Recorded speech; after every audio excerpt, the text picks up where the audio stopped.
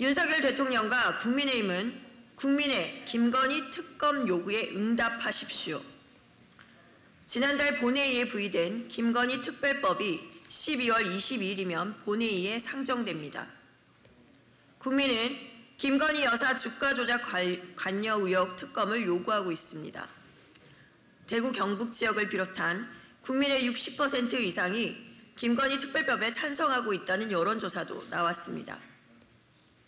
그럼에도 대통령실은 이러한 국민의 명령에 침묵으로 일관하고 있고 국민의힘은 대통령의 정치적 타격을 주기 위한 계략이라고 억지를 부리고 있습니다. 국민의 요구를 계략이라고 우기려고 합니까?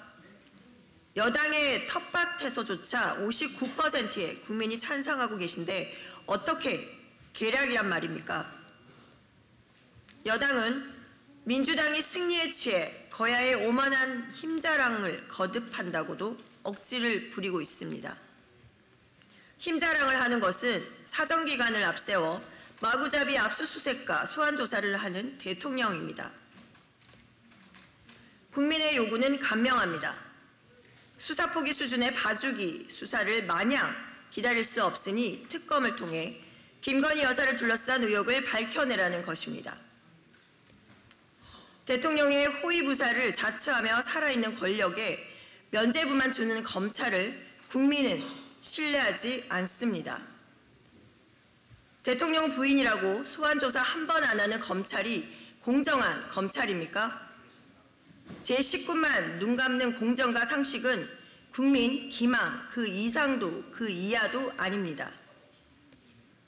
대통령의 가족이라 해도 죄를 지었으면 수사를 받아야 하고 국민의 검찰이라면 의혹에 대해 수사하면 되는 것 아닙니까? 이것이 바로 윤석열 대통령이 부르짖는 공정과 상식입니다. 국민의힘에게 경고합니다. 국회의 소임을 내던지고 권력을 비호하는 역할에 머무를 생각이 아니라면 진상을 명확히 구명하고 사법 정의를 바로 세울 수 있도록 특검 실시에 협조하기 바랍니다.